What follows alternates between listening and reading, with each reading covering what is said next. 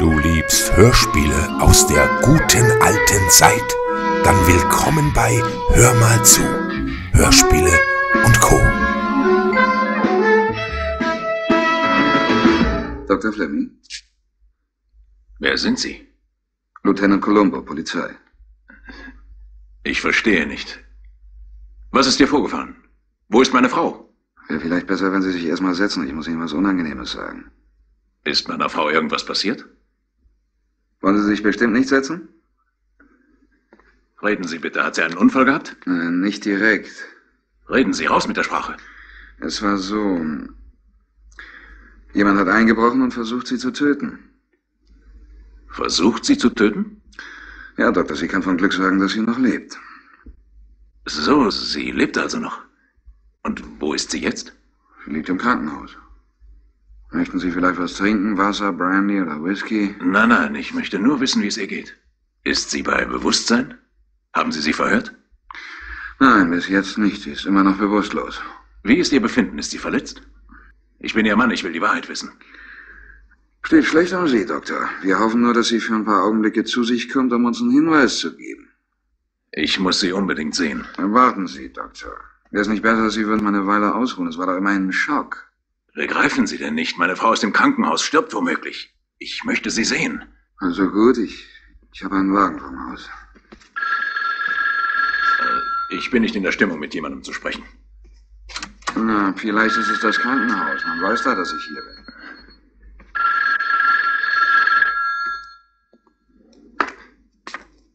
Hallo? Hier, Dr. Fleming? Gott sei Dank, dass du zurück bist, Liebling. Ich muss unbedingt mit. Nein, bedauere, heute kann ich Sie auf keinen Fall empfangen. Ich werde Sie für Freitag 14 Uhr vormerken. Meine Sekretärin ruft Sie nochmal an. Ray, ist jemand bei dir?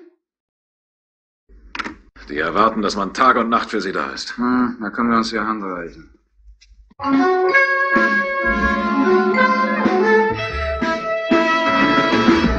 Schwester, ich bin Dr. Fleming. Meine Frau liegt bei Ihnen. Ich möchte gerne zu ihr. Tut mir leid, sie gehört zu den kritischen Fällen. Wir dürfen keine Besucher zu ihr lassen. Schwester, ich bin selbst Arzt. Bedauere, Doktor, ich muss mich nach meinen Ist Dr. Anordnungen... Lansbury hier noch immer Chefarzt? Ja, Dann sagen Sie ihm, Dr. Ray Fleming wäre hier und möchte ihn gern sprechen. es könnte sein, dass der Chef noch im OP ist. Was heißt könnte? Ich bitte, dass Sie rückfragen, ja? Mm, Dr. Lansbury, bitte, hier Aufnahme. Äh, Dr. Fleming ist gekommen. Er möchte unbedingt zu seiner Frau. Was Ja. soll ich dir sagen? Vielen Vielen Dank. geworden ist er. Was hast du denn da gemacht? Er wird gleich ausgerufen. Danke, Schwester. Ja, ja, wir gehen ja schon. Der Amtsschimmel wiehert überall. Ja, wo man auch hinkommt, Doktor. Dann wollen wir uns mal mit Ihrem befassen. Dr. Lansbury. Sie müssen schon deutlicher werden. Ihren Bürokram, meine ich. Hat der, ähm, der Dieb, hat er irgendwelche Spuren hinterlassen? Ivo, nicht eine einzige. Aber man muss abwarten. Vielleicht erwischen wir den Burschen, wenn er versucht, das Zeug an den Mann zu bringen. Wir können es nicht behaupten, aber wir stehen auf dem Standpunkt, dass er den Schmuck Ihrer Frau und noch andere Dinge mitgehen ließ. Ach, da habe ich eine Bitte, Doktor. Stellen Sie doch bei Gelegenheit eine Liste der gestohlenen Sachen auf. Selbstverständlich. Gut. Und anhand dieser Liste werden wir Hehler und Pfandleiher überprüfen. Vielleicht haben wir Glück. Vielleicht taucht was auf. Ach so, ich wollte Ihnen ja noch ein paar Fragen zur Vervollständigung meines Berichts stellen. Dr. Miller. Sie waren in Mexiko. Sagen Sie mir, wo und äh, ja, was Sie dort gemacht haben. Sie haben nicht zufällig einen Bleistift bei sich. Hier. Dankeschön. Meine Frau legt mir jeden Morgen einen neben den Frühstücksteller, aber ich verliere diese blöden Dinger immer. Oh ja, richtig. Wir wissen, dass Sie in Mexiko waren, aber die dortige Polizei konnte Sie nicht ausfindig machen, Doktor. Natürlich, ja. Ich war in einem kleinen Dorf, etwa 20 Meilen von Acapulco entfernt. Es war wunderbar ruhig und erholsam dort. Ich weiß nicht mal, ob jemand Telefon hat. Ach was. Dr. Lansbury, bitte mit der Aufnahme in Verbindung setzen. Ich, ähm, ich nehme an, Sie wissen bereits, was im Flugzeug vorgefallen ist. Ja, natürlich, ja. Wir hörten von dem, von dem Mann an der Abfertigung, dass Sie mit Ihrer Frau an Bord gegangen waren. Darüber waren wir verblüfft. Dann setzten wir uns mit der Stewardess in Verbindung und die hat uns berichtet, was sich abgespielt hatte. Es war, es war meine Schuld. Wir haben uns plötzlich in der Maschine gestritten. Über irgendetwas Lächerliches. Ich, äh, ich habe niemals geglaubt, dass sie weglaufen würde. Von dort ist sie vermutlich sofort nach Hause gefahren und ins Bett gegangen. Kurz vor Mitternacht ist sie dann überfallen worden. Wir wissen ja genau, dass sie um 10 auf dem Flugplatz war. Dr. Wood, bitte in den OP. Lieutenant, wenn ich, äh, wenn ich Ihnen in irgendeiner Form behilflich sein Nicht nötig, nein. Nein, wenn Sie die Aufstellung machen würden, wäre ich Ihnen dankbar. Ich denke dran. Schön. Oh, Doktor, noch etwas, bevor ich es vergesse. Ich habe mir von Ihnen ein Foto ausgebockt. Ich hoffe, Sie haben nichts dagegen. Was für ein Foto? Ein Schnappschuss von Ihnen und Ihrer Frau. Wir brauchten etwas für die Stewardess. Sie verstehen zur Identifizierung. Ich verstehe. Sie ist noch nicht wieder zurück. Wir haben uns telefonisch mit ihr in Verbindung gesetzt und ihr das Foto per Bildfunk übermittelt. Und? Sie hat ihre Frau identifiziert. Das Foto war etwas verschwommen, aber sie hat sie wiedererkannt. Hallo, Ray. Guten Tag. Ich habe gehofft, dich hier zu finden. Wie geht's, mein Junge? Ich versuche mich aufrecht zu halten. Ich weiß nicht, was ich sagen soll. Es ist furchtbar. Wir haben Sie doch am Abend vorher noch gesehen. Tja, Bert. Was ist denn am Freitagabend noch passiert? Als ich anrief, wolltet ihr gerade wegfahren. Sind wir auch. Als wir im Flugzeug waren, haben wir uns gestritten. Carol sagte, sie käme nicht mit und lief weg. Das hätte ich verhindern müssen. Du brauchst dir keinen Vorwurf zu machen. Sowas kann kein Mensch voraussehen. Ich danke dir, Bert. Hat er sich inzwischen gemeldet? Nein, bis jetzt noch nicht. Lieutenant Colombo. Hm. Mein Name ist Gordon, Vertreter des Generalstaatsanwalts. Ja, Sir, ich weiß. Dr. Fleming ist ein guter Freund von mir. Tun Sie bitte alles, was in Ihrer Macht steht. Ich werde mir Mühe geben, ja. Ray, wir werden den Mann finden, der das auf dem Gewissen hat. So wie es Carol besser geht, bekommen wir die Beschreibung des Verbrechers. Äh, übrigens, äh, Cynthia möchte, dass du ein paar Tage bei uns wohnst. Danke, aber das möchte ich mir noch überlegen. Das verstehe ich. Dr. Fleming, der Chef ist am Apparat. Danke. Hallo, Dr. Lansbury. Ich möchte Sie um einen Gefallen bitten. Eine Frage. Liegen schon Ergebnisse vor? Dr. Miller, bitte die Zentrale an. Ja, wissen Sie, äh, ist noch ein bisschen zu früh, aber ist ja bekannt, früher oder später ergibt sich was. Hm, Ich plädiere mehr für früher, ja, Lieutenant? Na, ich tue mein Bestes. Davon bin ich überzeugt. Ich brauche wohl nicht zu erwähnen, dass dies für Sie sozusagen die Chance Ihres Lebens ist. Wenn Sie Erfolg haben, dann fallen Sie ein paar Stufen rauf. Lieutenant. Ich bitte um Verzeihung, aber mir ist da eben was eingefallen. Darf ich wissen, was? Oh, nichts von Bedeutung. Es ist nur, Dr. Fleming hat nicht mal nach seiner Frau gerufen, als er von diesem Trip zurückgekommen ist. Worauf wollen Sie hinaus? Hm, ich war gerade im Schlafzimmer und habe ein paar Dinge überprüft. Plötzlich höre ich, wie er reinkam, aber gesagt hat er kein Wort. Komisch, wie verschieden doch die Menschen sind. Nehmen wir mich zum Beispiel. Wenn ich von der Fahrt zurückkomme, dann rufe ich als erstes laut und deutlich, Schätzchen, wo steckst du? Worauf wollen Sie hinaus? Was wollen Sie damit beweisen? Beweisen? Gar nichts wollte ich beweisen. Es klang aber so, als wollten Sie was Bestimmtes sagen. Der Mann hat offen zugegeben, dass er Streit mit seiner Frau gehabt hat.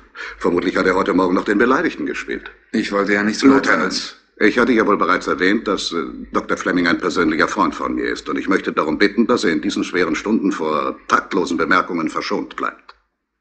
Verzeihung, tut mir leid, Mr. Gordon. Ich werde meinen Mund halten. Dr. Bryce, Sie werden im OP viel Gut. verlangt. Ja, vielen Dank, Lansbury. Er hat mir erlaubt, Sie zu sehen. Fein. Soll ich dich begleiten? Sei nicht böse, aber ich möchte mit ihr allein sein. Äh, ich muss allerdings mitgehen, Doktor. Wieso? Ja, einer unserer Leute ist an der Tür postiert. Äh, Moment. Geht in Ordnung, Tommy. Das ist Ihr Mann. Nicht zu machen, Chef. Im Augenblick darf hier niemand rein. Warum nicht? Sie ist bei Bewusstsein. Der Arzt ist bei ihr. Vielleicht haben wir Glück, Doktor. Doktor, ich bin der Mann der Patientin. Geht es, äh, geht es ihr besser? Tut mir leid. Sie ist eben eingeschlafen. Na, auch ein bisschen frische Luft schnappen? Ich war gerade auf dem Rückweg vom Mittagessen. Hm, da habe ich ja Glück gehabt. Ich wollte Sie nämlich in Ihrer Praxis aufsuchen. Haben Sie was dagegen, wenn ich Sie begleite? Auch nicht. Gibt's was Neues? Kann man nicht behaupten, Doktor. Wir treten auf der Stelle, warten, bis unser Freund versucht, den Schmuck abzustoßen. Ich könnte mir vorstellen, dass er damit noch eine Weile wartet. Hm. Dann haben Sie vermutlich recht. Ist angerufen worden, Miss Petri? Ja, fünf oder sechs Mal. Ich habe Ihnen alles auf den Schreibtisch gelegt. Kaum ist man wieder im Lande, sofort soll man ein Händchen halten. Ich bin in meinem ganzen Leben noch nicht in der Praxis eines Psychiaters gewesen. Ist das erste Mal. Ich vermisse die berühmte Couch. Sie vermissen meine Patienten auch. Sie verleitet nur zum sich gehen lassen. Stimmt genau. Sie haben den Nagel auf den Kopf getroffen. Wenn Sie mich in die Horizontale bringen, schlafe ich sofort ein. Aber der Raum gefällt mir, wirkt so beruhigend. Trägt bestimmt dazu bei, die Patienten zum Sprechen zu bringen. Hm? Ich habe eine Schwester. Die hat ein Wohnzimmer, ganz modern eingerichtet. Wenn man sie besucht, setzt man sich hin und, und wagt nicht, den Mund aufzumachen. Natürlich fehlt auch nicht der typische Couchtisch in Nierenform. Mir wird schon ganz übel, wenn ich ihn mir bloß ansehe. Ihr Mann redet nicht viel und ich möchte behaupten, als sie den Tisch anschleppte, hat sie ihm die Rede verschlagen.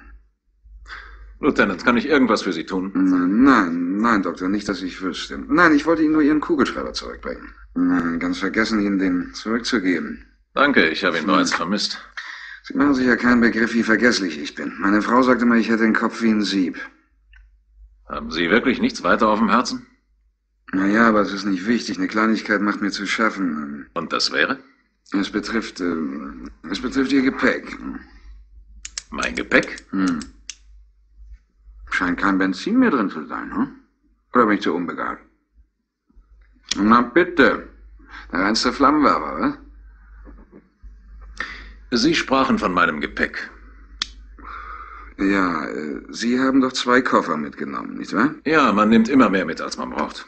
Ähm, Ich war vorhin auf dem Flugplatz, eine der üblichen Routineuntersuchungen. Ihr Gepäck hatte 13 Pfund Übergewicht. Die bewahren dann nämlich die Unterlagen auf. Stimmt, ja. Ist denn irgendwas merkwürdig daran? Auf dem Rückflug, ich weiß, es ist nur eine lumpige Bagatelle, die nichts auf sich hat, aber da waren es nur vier Pfund Übergewicht. Nun frage ich mich, was ist mit den restlichen neun Pfund geschehen? Mir ist nicht klar, was das mit dem Tod meiner Frau zu tun hat. Das gehört zu meiner Arbeit. Ich muss dafür sorgen, dass Stein für Stein zusammengetragen wird. Leicht haben Sie es bestimmt nicht. Es ist ein weiter Weg bis zum Flugplatz. 45 Minuten. Meine Güte, dieser Flugplatz. Wenn Sie da wieder raus wollen, brauchen Sie einen Kompass. Lieutenant, was die neuen Pfund betrifft, ich, äh, ich hatte einen Stapel Fachzeitschriften mitgenommen, Literatur über Medizin. Sie wissen, im täglichen Trotz bleibt einem dafür nie Zeit. Bildungslücken auffüllen, was, Doktor? So kann man es auch nennen, ja. Mhm. Und die haben Sie nicht wieder mitgebracht? Es war nichts Wertvolles dabei. Hm. Warum sollte ich mich damit unnötig belasten? Mhm. Und Sie meinen, dieses Zeug hat neun Pfund gewogen? Muss wohl. Wie wollen Sie sonst das fehlende Gewicht erklären? Richtig. Na also, dann tappen wir hier auch nicht mehr im Dunkeln. Ich danke Ihnen vielmals. Tut mir leid, dass ich Sie bemüht habe. Aber ich bitte Sie. Ach so, äh, da fällt mir ja noch was ein. ne? Sie erinnern sich wohl nicht mehr, was Ihre Frau an dem Abend angehabt hat. Tja, meine Frau hatte so viele Kleider. Ist das wichtig? Naja, in gewisser Weise schon. Mal nachdenken. So viel ich weiß, trug sie ein dunkelblaues Wollkleid mit Metallknöpfen. Ich müsste mich sehr irren. Nein, nein, das ist richtig. Das äh, hat mir die Stewardess auch gesagt. Übrigens, sie ist wieder im Lande. Ich habe mit ihr gesprochen.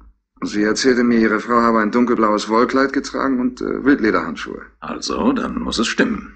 Hm, trotzdem irgendwie komisch. Was hat sie, nachdem sie zu Hause war, mit den Handschuhen und dem Kleid gemacht? Als wir die Wohnung durchsucht haben, haben wir die Sachen nicht gefunden. Vielleicht hat der Kerl sie mitgenommen. Ja, vielleicht, wäre immerhin möglich. Sie haben hoffentlich die Sachen mit auf die Liste gesetzt, oder? Ich bitte Sie, Lieutenant, glauben Sie wirklich, dass ich die Sachen vermisst habe? Je mehr man drüber nachdenkt, desto merkwürdiger ist es. Warum sollte der Kerl ein paar Handschuhe und ein Kleid mitnehmen? Was für einen Wert hat das? Sie wissen selbst, dass die Menschen nicht immer logisch handeln. Das ist ein wahres Wort, Doktor. In meinem Beruf kann man ein Lied davon singen. Na, Sie werden ja auch Ihre Erfahrungen haben. Entschuldigen Sie bitte. Ja? Miss Hudson ist hier, Doktor. Ich bin sofort fertig. Eine Patientin wartet auf mich, Lieutenant. Oh, gut. Ist fast zwei. Oh, das wird die sein, die Sie in Ihrer Wohnung angerufen hat. Sie sind gar nicht so vergesslich, wie Ihre Frau behauptet. Oh, wissen Sie, Doktor, manches bleibt haften, manches nicht. So dumm, dass ich Ihnen keine Auskunft über Kleid und Handschuhe geben konnte, aber vielleicht haben Sie beides übersehen. Ja, da dürften Sie vermutlich recht haben. Ach, äh, hören Sie, mh, hätten Sie was dagegen, wenn ich heute Nachmittag vorbeikomme und nochmal nachsehe? Und wann werden Sie zu Hause sein? Vor fünf auf keinen Fall. Sagen wir, ich bin um halb sechs bei Ihnen. Gern, wenn Sie meinen, dass es nötig ist. Hm, ist wieder nur ein Steinchen in dem Mosaik, Sie verstehen. Wiedersehen. Äh, Miss? Ja? Entschuldigung, wie war Ihr Name gleich? Joan Hudson. Wieso? Verzeihung, dass ich Sie belästigt habe. Wer war der Mann da draußen? Lieutenant Colombo, Kriminalpolizei. Warum? Er wollte meinen Namen wissen. Hast du ihn genannt? Ja, wieso durfte ich das nicht? Ray, stimmt etwas nicht? Er war bei mir, als du mich angerufen hast. Du solltest dich doch nicht bei mir melden. Das musste ich doch. Als ich las, dass Carol noch lebt, wollte ich dich warnen. In Ordnung. Wir brauchen uns den Kopf nicht heiß zu machen. Du bist eine Patientin wie jede andere. Und jetzt. Richtig, ich muss sofort die Reinigung anrufen. Du hast doch alles getan wie verabredet, hm? Du hast doch das blaue Wollkleid und die Handschuhe mit in den Wäschebeutel gelegt, hm? Ach, die Handschuhe? Ja, Kleid und Handschuhe. Wir hatten das doch genau besprochen. Was ist denn? Als die Maschine weg war, habe ich mich im Waschraum umgezogen, habe die Sachen in meine Tasche gesteckt. Dann bin ich in deine Wohnung gefahren, habe das Kleid in den Wäschebeutel gesteckt. Und weiter? Aber die, die Handschuhe habe ich völlig vergessen. Ich habe überhaupt nicht mehr daran gedacht, bis du sie eben erwähnt hast. Wir sind doch alles, wer weiß, wie oft bis aufs i-Tüpfelchen Tut mir durchgegangen. leid. Aber was ist denn schon dabei? Sind die so wichtig? Ob die wichtig sind? Wo hast du die Handschuhe gelassen? Sie sind bei mir zu Hause noch immer in der Tasche. Ich habe sie nicht getragen. Mal überlegen. Mit dem Kleid haben wir überhaupt keine Schwierigkeiten. Das ist in der Reinigung. Und was ist mit den Handschuhen? Ein paar Handschuhe kann man sehr leicht übersehen. Wir können sonst wo liegen. Pass auf. Columbo kommt heute Nachmittag nochmal in meine Wohnung, um alles zu durchsuchen. Du fährst sofort zurück, holst die Handschuhe und fährst auf dem schnellsten Weg zu mir. Ich komme in etwa einer Stunde. Dann kann ich sie nicht einfach wegwerfen. Weil ich möchte, dass er sie findet. Ich verstecke sie in ihrem Schreibtisch. Diesmal wird Columbo sie finden. Möchtest du was trinken? Bitte ja. Bist du mir wirklich nicht böse? Nein, überhaupt nicht. Ich möchte mich am liebsten selbst ohrfeigen. Immer und immer wieder habe ich mir wiederholt, was ich tun muss. Aber diese dummen Handschuhe. Mach dir bloß keine Gedanken mehr. Das haben wir ja hingebogen. Ich habe dich vermisst. Zum Glück hatte ich Arbeit, sonst hätte ich die Woche nicht überstanden. Jetzt haben wir es hinter uns. Und was ist mit diesem Mann, diesem, diesem Columbo? Den wirst du nie wiedersehen. Aber was will er von dir? Warum belästigt er dich? Weil, weil Carols Tod fast zu perfekt war.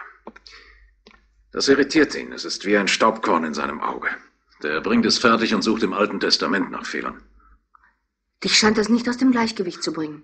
Ich wüsste nicht warum. Was er auch vorbringt, ich habe eine Antwort parat. Und wenn er mir nichts nachweisen kann, wird er eine andere Spur verfolgen. Ich wünschte, ich könnte es so wie du sehen. In den, in den vergangenen Tagen habe ich immer wieder versucht, eine Entschuldigung zu finden für das, was wir getan haben. Es war umsonst, ich habe keine gefunden. Joan. Es gab keine andere Wahl. Und das rechtfertigt ihren. Ja. Wir lieben uns. Und wollen eine gemeinsame Zukunft. Das rechtfertigt wohl alles. Gewiss, das ist nicht etwas, was man einfach vergisst. Es darf aber nicht das zerstören, was wir gewonnen haben. Ich weiß, Liebling. Wir brauchen nur abzuwarten. Ich verspreche dir, ich entschädige dich für alles. Ah, wollten Sie einbrechen, Lieutenant? Doktor, ich, ähm, ich dachte nur, Sie haben so viel zu tun, da wollte ich Ihnen nicht die Zeit stehlen und allein so. Ich möchte Ihnen nicht mehr Unannehmlichkeiten machen als unbedingt nötig. So viel ich weiß, braucht man einen Durchsuchungsbefehl. Ich glaubte, das wäre in diesem Fall nicht nötig, Doktor. Sie haben mir ja selbst die Erlaubnis gegeben. Eine Frage. Wie kommt es, dass Sie schon hier sind? Es hat mir auch keine Ruhe gelassen. Ich wollte Ihnen ebenfalls Zeit ersparen. Da liegen die Handschuhe, Lieutenant. Ich habe sie in einer Schreibtischschublade gefunden. Was sagt man nun dazu? Wir haben den ganzen Schreibtisch durchsucht. Hab also doch was übersehen. Ähm, das Kleid haben Sie aber nicht zufällig gefunden. Nein, ich habe das unterste zu oberst gekehrt. Es ist nicht hier. Ich möchte nur wissen, was sie damit gemacht hat. Diese Frage hatten wir uns schon gestellt. Äh, wollen wir nicht beide nochmal nachsehen? Äh, Lieutenant, Hä? Es ist nicht in meiner Wohnung. Ich habe sämtliche Schränke durchsucht. Sie haben doch einen Wäschebehälter in Ihrem Schlafzimmer, nicht wahr? Aber ich sagte Ihnen doch gerade... Macht gar keine Mühe, nochmal nachzusehen, hm? Lieutenant, würden Sie wohl so freundlich sein und aufmachen? Ich möchte niemanden sehen. hm.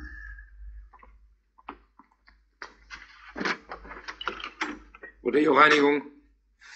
Ähm, Doktor, hier.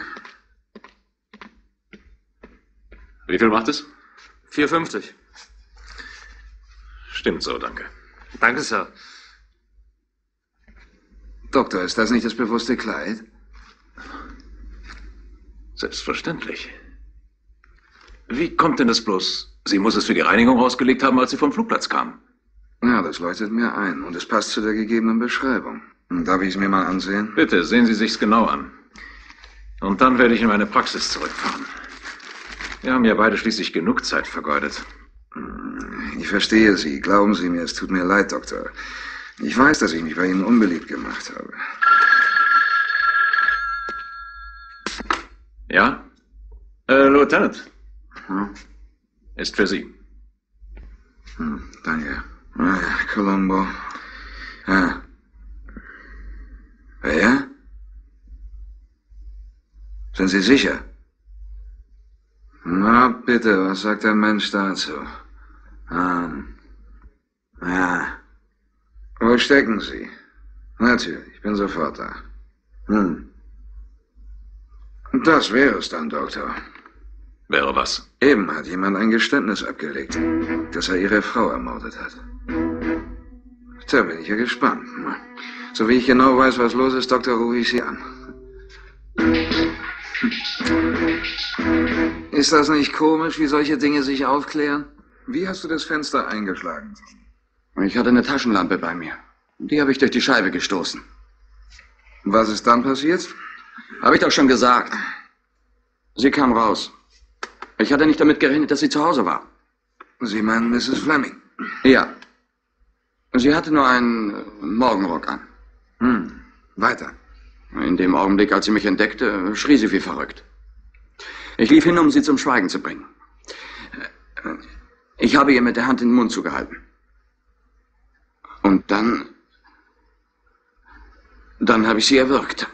Hm, und was geschah dann weiter? Habe ich ja auch schon gesagt. Ich habe mir die Sachen zusammengesucht.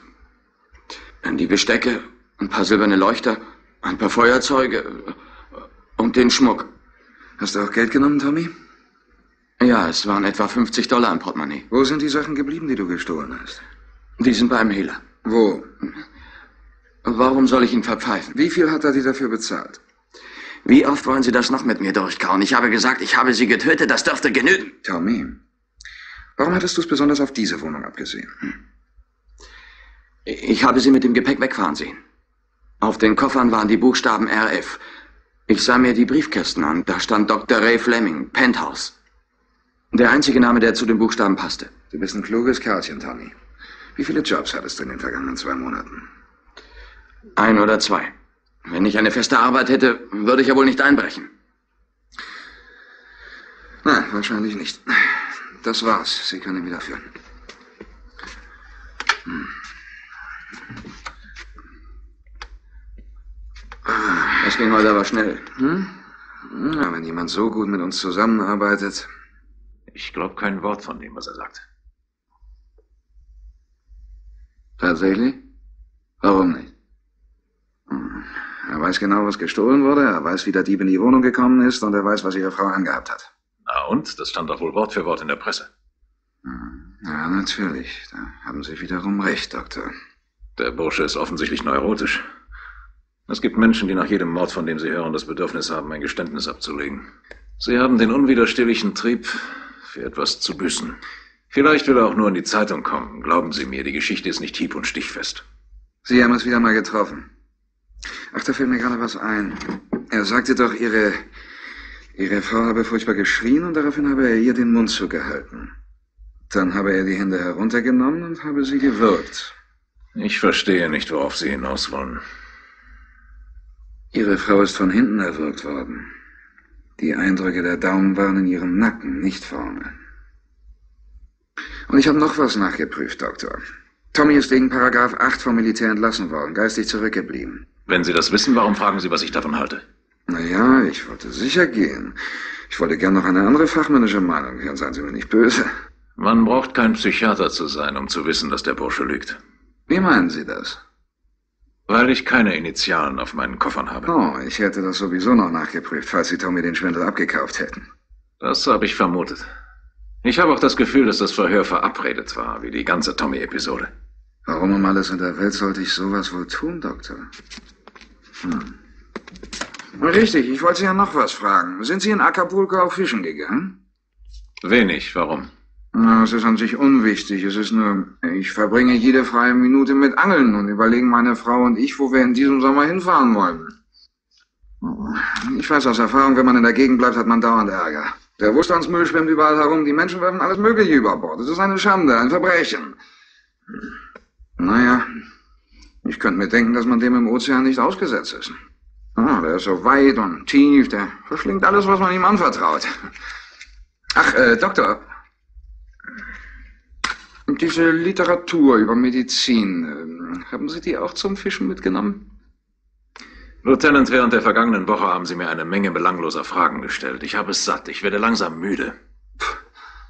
Oh, entschuldigen Sie vielmals, Doktor. Ich dachte mir nur, ein, Ein Boot müsste ein sehr guter Platz zum Lesen sein. Was haben meine Lesegewohnheiten mit dem Fall zu tun? Sie konzentrieren sich auf alles Mögliche, nur nicht auf den Einbrecher.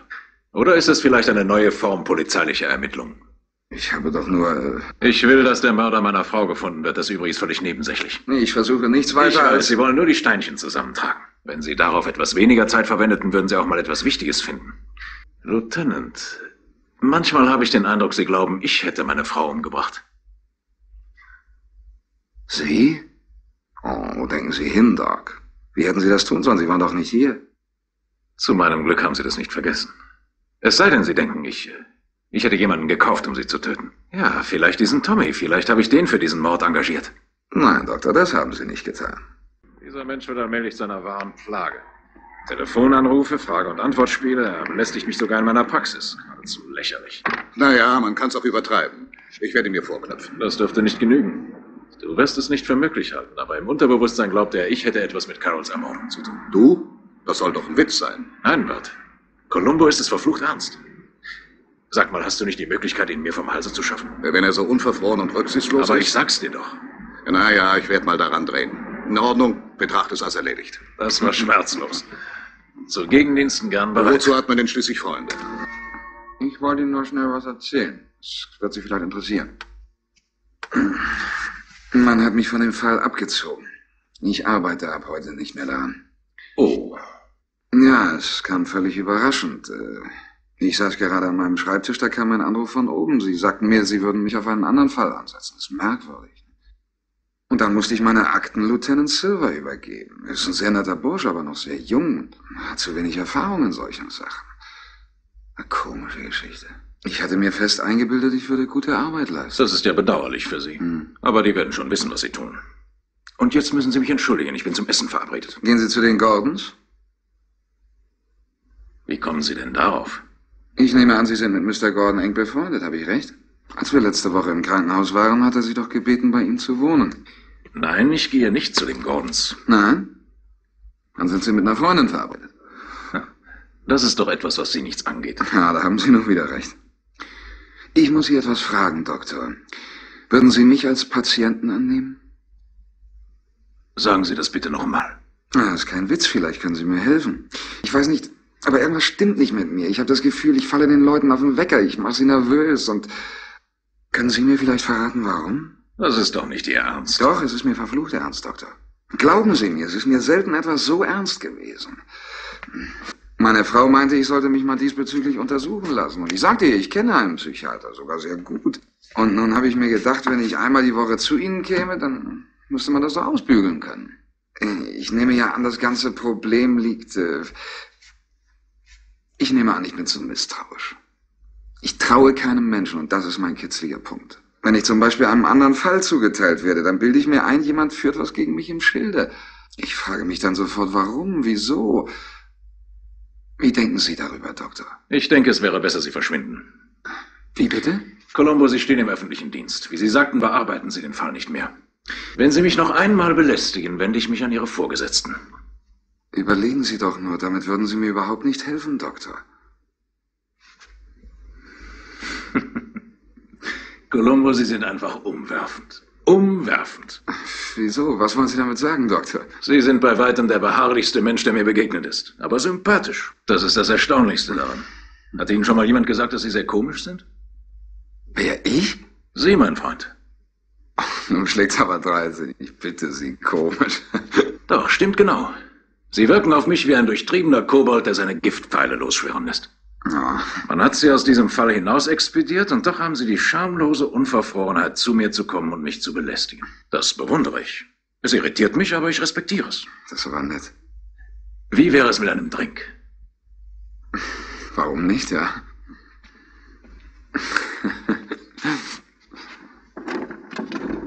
Oh, Donnerwetter, das ist aber raffiniert. Zwischen den Behandlungen können Sie schnell einen zwitschern, was? Ich habe Sie zwar keinem Test unterzogen, aber ich nehme an, Sie sind auf Bourbon eingeschworen. Hm? Naja. Danke vielmals, Doktor. Worauf wollen wir denn trinken? Oh, ich habe keine Ahnung. Wie wär's auf Sie und mich? Einverstanden. Lesen Sie viel, Doktor? Ja, wenn ich Zeit habe. Hm. Auch Kriminalromane? Das kommt selten vor. Ich leidenschaftlich gern. Ist so entspannend. Die Sache hat nur einen Haken. In der Wirklichkeit sieht alles anders aus. In den Büchern wird der Täter äh, jedes Mal geschnappt. Und Sie und ich wissen doch ganz genau, dass es im Leben nicht immer so ausgeht. Sie sind dauernd am Ball, was? Bitte? Die Anspielungen, der Themenwechsel. Sie stecken voller Tücken, Colombo. Selbst die Zigarre ist Mittel zum Zweck. Sie machen mir Spaß, Doktor. Ich will Ihnen mal verraten, wie ich Sie sehe. Sie sagten, Sie brauchten einen Psychiater. Vielleicht brauchen Sie einen, vielleicht nicht. Aber so viel steht fest. Sie sind ein Schulbeispiel für Kompensation. Wie war das? Kompensation, äh, Anpassungsfähigkeit. Sie sind ein intelligenter Mensch, Colombo, aber Sie kaschieren es. Sie tun so, als wären Sie ein Trottel. Und warum? Wegen Ihrer Erscheinung, mein Freund. Sie wissen, Sie würden niemanden durch Auftreten und Benehmen beeindrucken. So machen Sie aus den Mängeln eine Tugend. Sie arbeiten mit dem Überraschungseffekt. Man unterschätzt, verkennt Sie. Und so bringen Sie die Menschen zu Fall. Mich haben Sie heute auch überrascht. Meine Güte, Doktor, jetzt haben Sie mich aber festgenagelt. Bei Ihnen muss man sich ja verdammt vorsehen. Junge, Junge. Ist bewunderungswürdig, wie Sie die Menschen durchschauen. Nun mal langsam. Sie wollen mir schmeicheln. Nein, nein, wirklich, ernsthaft. Sie haben eine besondere Gabe. Gewiss, es ist Ihr Beruf und Sie haben jahrelang studiert, aber trotzdem, es ist nicht zu fassen. Da kommt jemand, unterhält sich mit Ihnen und nach ein paar Stunden wissen Sie alles über ihn. Ganz so ist es nicht. Psychiatrie ist keine Zauberkunst. Das wollte ich damit nicht sagen, auf keinen Fall. Ich, ich frage mich nur, ob... Äh, aber nein, ich, ich glaube, das ist auch unmöglich. Was ist unmöglich? Es ist vielleicht nicht so schwer, einen Patienten zu analysieren oder jemanden wie mich, der hier dauernd aufkreuzt. Aber was ist mit einem Fremden, einem Menschen, der... einem Menschen, dem Sie noch nie begegnet sind? Können Sie da auch sagen, was in dem schlummert? Haben Sie eine Vorstellung? Denken Sie an einen bestimmten? Nein, nein, keinen bestimmten. Sagen wir einen Typus. Einen, einen Mörder zum Beispiel? Naja, jetzt, da Sie es selber sagen. Ich glaube, wir sind auf derselben Wellenlänge. Scheint so, das Gefühl habe ich auch. Also, was ist mit Ihrem hypothetischen Mörder? Also, um es vorwegzunehmen, ich denke nicht an den landläufigen Hitzkopf an einen Burschen, der einem anderen mit einer Flasche über den Schädel haut. Was wissen Sie über den, über diesen Typen, Mann, Doc? Eigentlich müsste ich hierfür Honorar verlangen, aber da wir ja nur theoretisieren, ist es eine kostenlose Konsultation. Hm, Sehr schön. Also, wir unterhalten uns über einen Mann, der ein Verbrechen begeht. Nicht von der Art der gewöhnlichen Kneipenprügeleien. Nein, es handelt sich um ein wohldurchdachtes intellektuelles Vorhaben. Was wissen wir über diesen Mann? Offensichtlich ist er nicht impulsiv. Er plant, er kalkuliert, er setzt das Risiko auf ein Minimum herab. Er ist ein ausgesprochener Verstandesmensch, kein Gefühlsmensch. Und er ist vermutlich sogar sehr gebildet. Wie ein Mann in einem gehobenen Beruf. Wäre durchaus möglich. Auf jeden Fall ein methodischer Mensch, mit einem Blick fürs Detail. Und Mut. Mit Mut? Selbstverständlich. Wenn man so etwas unternimmt, wie es sich auch abspielt, braucht man ein starkes Nervensystem. Da mögen Sie wohl recht haben, ja. Über eins bin ich mir noch im Unklaren. Der Mann, von dem wir sprechen, hat ein Menschenleben auf dem Gewissen. Würden Sie da nicht sagen, dass er geisteskrank ist? Wieso denn? Weil er eine unmoralische Tat begangen hat? Moral ist bedingt, Lieutenant. Ist relativ wie alles Übrige heutzutage. Unser Mörder kann geistig genauso normal sein wie Sie und ich. Töten mag ihm durchaus widerstreben. Aber wenn es die einzige Lösung ist, wendet er sie an. Das ist Pragmatismus, mein Freund. Und kein Wahnsinn. Verraten Sie mir noch eins. Wie kann man einen solchen Menschen schnappen? Überhaupt nicht. Hm. Ich fürchte, damit haben Sie recht. Solche Kerle sind einfach zu clever für uns. Ich will damit sagen, wir Polizisten haben die Weisheit nicht gerade mit Löffeln gegessen.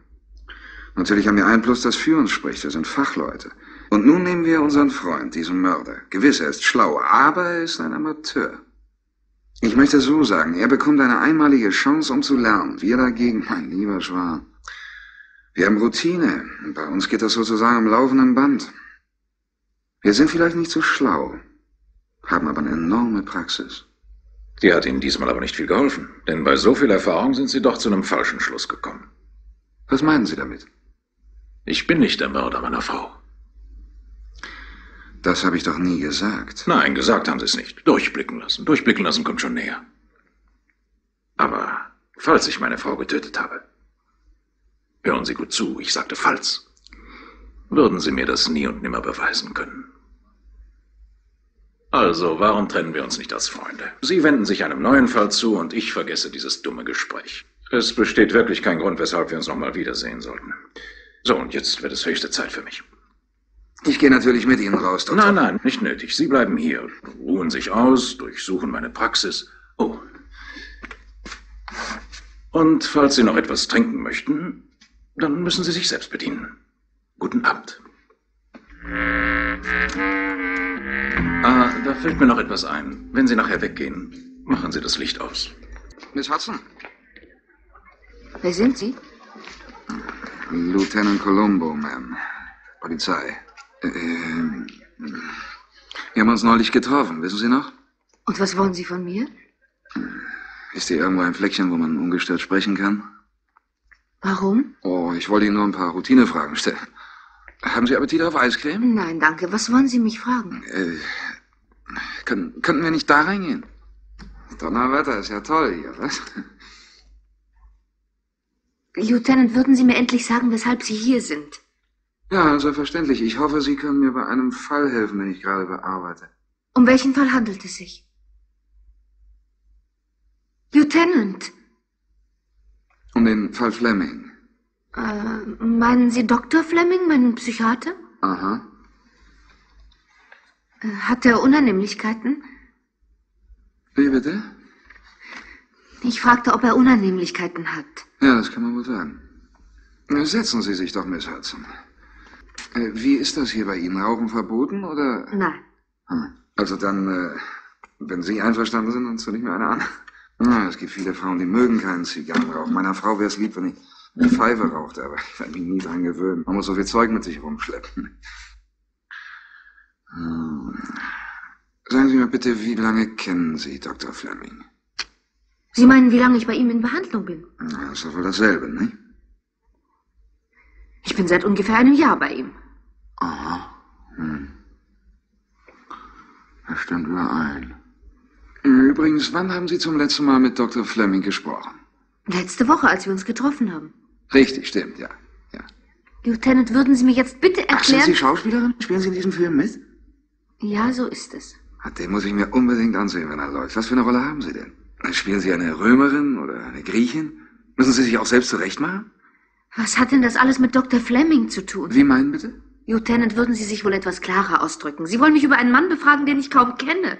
Sie sagten, er habe Unannehmlichkeiten. Bevor Sie weitere Fragen stellen, möchte ich Sie bitten, mir Näheres darüber mitzuteilen. Ich weiß, es wird für Sie ein Schock sein, Miss Hudson. Aber wir nehmen an, dass er seine Frau umgebracht hat. Sie scheinen überrascht zu sein. Natürlich bin ich überrascht. Das glaube ich auf keinen Fall. Nein? Mhm. Möchte wissen, wem diese Sonnenbrille gehört. Es ist mir völlig unklar, wie die in meine Tasche gekommen ist. Äh, Miss Hudson, äh, Sie scheinen mir nervös zu sein. Haben Sie noch nie im Leben eine Sonnenbrille gesehen? Wollen Sie sie mal aufprobieren? Wieso? Warum? Oh, nur so. Ne? Es gibt doch gar keinen Grund, das abzulehnen. Oder doch? Es ist wohl besser, wenn ich gehe. Setzen Sie sich, Miss Hudson. Wenn Sie darauf bestehen, mich zu verhören, rufe ich meinen Anwalt Setzen an. Sie sich. Sie können es mir nicht verbieten, meinen Anwalt anzurufen. Sie haben gar kein Recht, mich zu befragen. Dieser Fall unterliegt nicht mehr Ihrer Kompetenz. Ach nein, woher wissen Sie denn das? Dr. Fleming hat es mir gesagt. Aber Sie sagten mir vorhin, Sie hätten Dr. Fleming seit der letzten Woche nicht mehr gesehen.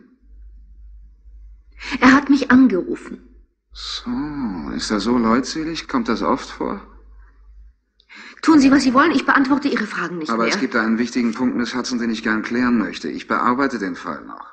Jemand hat versucht, seine Verbindung spielen zu lassen, aber mein Chef schätzt das nicht. Er macht sich seine Gedanken. Er ließ mich rufen und sagte, Lieutenant Colombo, Sie müssen da einen wunden Punkt berührt haben. Machen Sie weiter so. Bleiben Sie am Ball. Er ist ein intelligenter Mann, mein Chef. Ich möchte meinen Anwalt anrufen. Das verstehe ich einfach nicht. Dr. Fleming hat seine Frau umgebracht und Sie wollen Ihren Anwalt anrufen. Können Sie mir dafür eine Erklärung geben, Miss Hudson? Lieutenant, ich wünsche, meinen Anwalt anzurufen. Na schön. Rufen Sie ihn an. Und falls er wissen will, wie die Anklage lautet, Beihilfe zum Mord.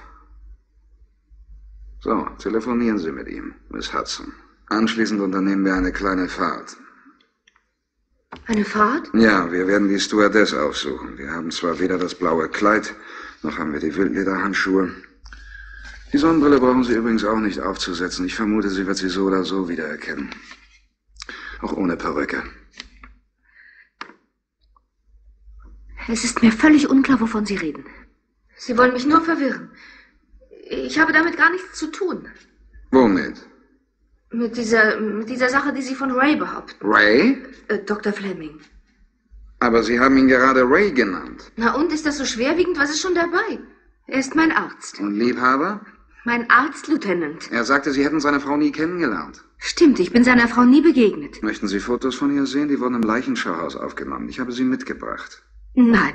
Weshalb auch? Sie haben ja die Sache im Original gesehen. Das muss ein ziemlicher Schock gewesen sein. Warum lassen Sie mich nicht in Ruhe? Ich habe nichts damit zu tun. Nein? Und was ist mit der Brille? Was ist mit der Sonnenbrille? Hm? Was ist mit dem Übergewicht der Koffer? Was ist mit dem Streit im Flugzeug? Ich höre mir das nicht mehr länger Sie mit sind an. doch dort gewesen, als er Sie erwürgt hat, nicht wahr? Nein, Soll das bedeuten, dass Sie später gekommen sind? ich bin überhaupt nicht dort Ich gewesen. sage, Sie waren dort. Sie werden sich vermutlich umgezogen haben, als seine Frau am Boden lag. Dann sind Sie mit ihm zusammen zum Flughafen gefahren und haben dort den improvisierten Streit mit ihm gehabt. War es nicht so? Nein. War es nicht so? Haben Sie nicht vorher alles genau mit ihm geplant? Haben Sie ihm nicht bei der Durchführung geholfen? War es nicht so? Hören Sie auf. Diese Frau wäre noch am Leben ohne Ihre Hilfe. Ohne Ihre Hilfe auf. wäre sie nie ins Leichenschauhaus gekommen. Ohne Sie wäre sie nie ermordet worden. Wir werden jetzt ins Präsidium fahren und dort machen Sie Ihre Aussage. Nein. Dazu haben Sie gar kein Recht. Ich habe nichts damit zu tun, Lieutenant, verstanden? Gar nichts. Überhaupt nichts. Wenn Sie mich der Stewardess gegenüberstellen wollen, bitte. Wenn Sie mich festnehmen wollen, bitte von mir aus. Aber Sie können nichts beweisen, Lieutenant.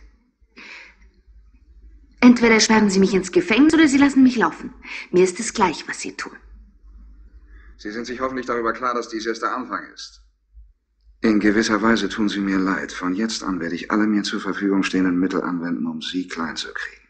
Dr. Fleming hat einen Fehler gemacht, und der sind Sie. Sie sind das schwache Glied in seiner Kette. Heute haben Sie mich überrascht, denn Sie waren stark. Aber es gibt immer einen Morgen und einen Übermorgen. Wir haben Zeit. Früher oder später werden Sie Farbe bekennen. Bis Sie so weit sind, werden Sie verhört, werden Sie beschattet, werden Sie gejagt. Und Dr. Fleming kann nichts dagegen unternehmen. Sie müssen allein damit fertig werden, Miss Hudson. Ich schnapp ihn mir, durch Sie. Darauf gebe ich Ihnen Brief und Siegel.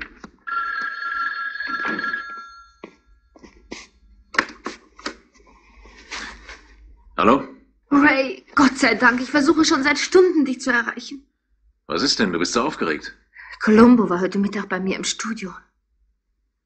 Colombo? Er hat versucht, mich weich zu machen.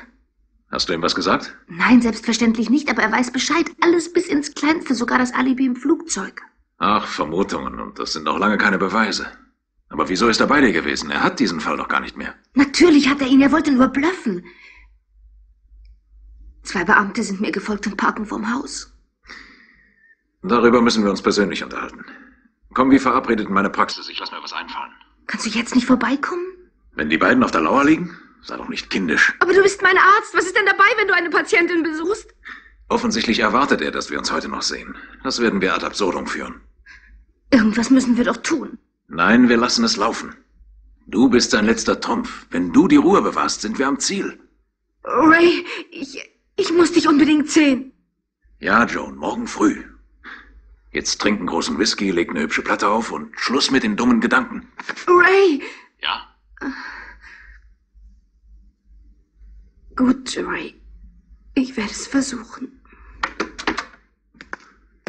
Miss Petri, Ja, Doktor? war Miss Hudson nicht für 10 Uhr angemeldet? Ja, Doktor.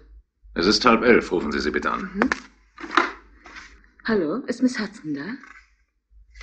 Nein, ich, äh, hier ist die Sprechstundenhilfe in der Praxis Dr. Fleming. Sie war für heute Vormittag hier angemeldet. Ja, danke. Dr. bei Miss Hudson war ein Mann am Apparat. Er sagt, er sei vom Büro des Leichenschauhauses. Versuchen Sie es nochmal. Vielleicht haben Sie die falsche Nummer gewählt.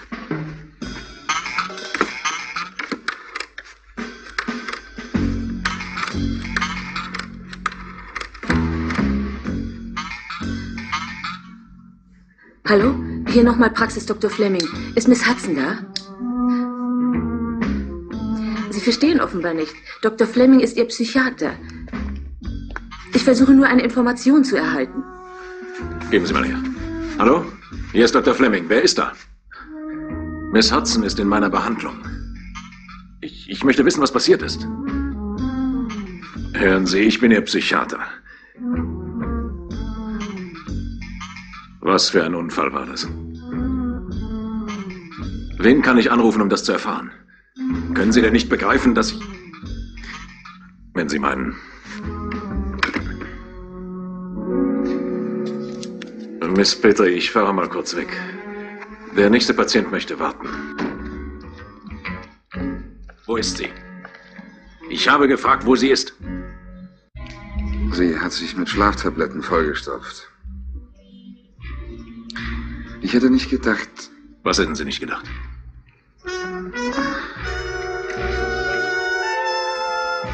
Was hätten Sie nicht gedacht, Lieutenant? Naja, ich habe sie gestern verhört. Wahrscheinlich bin ich etwas zu weit gegangen. Ich habe gesagt, ich würde sie schnappen durch sie. Sie mussten sie mit hineinziehen, nicht wahr? Konnten Sie das nicht voraussehen oder war es Ihnen gleichgültig? Wollen Sie mich belehren, Doktor? Ich bin dafür verantwortlich und ich muss damit fertig werden. Aber vergessen Sie bitte eins nicht. Wir beide haben das Mädchen auf dem Gewissen. Wir beide. Den Selbstmord hat sie doch nur begangen, um Sie zu schützen. Das wissen Sie so gut wie ich. Ihretwegen, Doktor. Übrigens gratuliere ich Ihnen. Sie haben es geschafft, jetzt sind Sie sicher. Besser konnte es für Sie überhaupt nicht kommen. Sie war die Einzige, die Sie hätte verpfeifen können. Ich kann Sie nun nicht mehr fassen, Doktor. Niemand kann es. Sie sind aus dem Schneider. Sie haben gewonnen, Doktor. Das Dumme ist nur, dass Sie nicht bekommen haben, was Sie wollten. Was soll das nun schon wieder bedeuten? Ich meine Joan. Sie liebten sie, sie wollten sie heiraten, sie waren bereit für sie zu morden. Nun ist sie nicht mehr da. Alles Planen, alle Mühe war umsonst. Und Sie bleiben mit leeren Händen zurück. Was bezwecken Sie eigentlich damit? Gar nichts. Gar nichts bezwecke ich damit. Es kam mir nur so in den Sinn. Von jetzt auf werden Sie ein verdammt einsamer Mensch sein, Doktor. Vielleicht wäre dies der richtige Augenblick für Sie, reinen Tisch zu machen. Was erwarten Sie? Dass Sie die Wahrheit sagen. Wollen Sie mir die Beichte abnehmen? Ihr Geständnis würde genügen. Gibt es noch was, das Ihnen das Leben lebenswert macht? Denken Sie mal nach, Doktor. Das Mädchen ist nicht mehr da. Und nach allem, was war, sind Sie etwas schuldig. Meinen Sie nicht auch? Sie sind wirklich ein komischer Vogel. Das war nicht als Witz gemeint. Auf mich hat's aber komisch gewirkt. Sie erwarten also von mir, dass ich den Büßer spiele. Meine einzige große Liebe ist tot, das Leben lohnt sich nicht mehr. So war's doch. Nein, ich wollte nur sagen, wenn Sie das Mädchen geliebt haben, dann... Geliebt habe, Lieutenant? Sie an Columbo, ich habe Sie maßlos überschätzt. Ich glaubte, Sie hätten etwas mehr Menschenkenntnis. Ich habe dieses Mädchen nie geliebt. Hm, ich bitte Sie, Doktor. Es ist die Wahrheit. Wir sprachen neulich über einen hypothetischen Mörder, nicht wahr? Er brauchte ein Alibi. Das Mädchen war ihm hörig, also hatte sich ihrer bedient. Das ist alles. Nein. Sie haben Ihre Frau umgebracht, weil Sie das Mädchen geliebt haben. Wenn ich meine Frau getötet hätte, und dafür gibt es keinen Beweis, hätte ich es nur für mich selbst getan und nicht für eine billige kleine Schauspielerin. Sie hat Ihnen bei dem Mord geholfen. Sie hätten sie heiraten müssen, Doktor. Keineswegs. Irgendwas hätte man arrangieren können. Vielleicht einen kleinen netten Unfall. Das hattest du also auch schon vorausgeplant.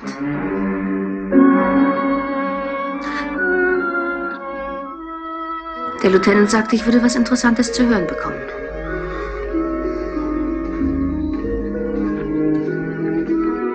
Wollen Sie jetzt ein Geständnis ablegen, Miss Hudson?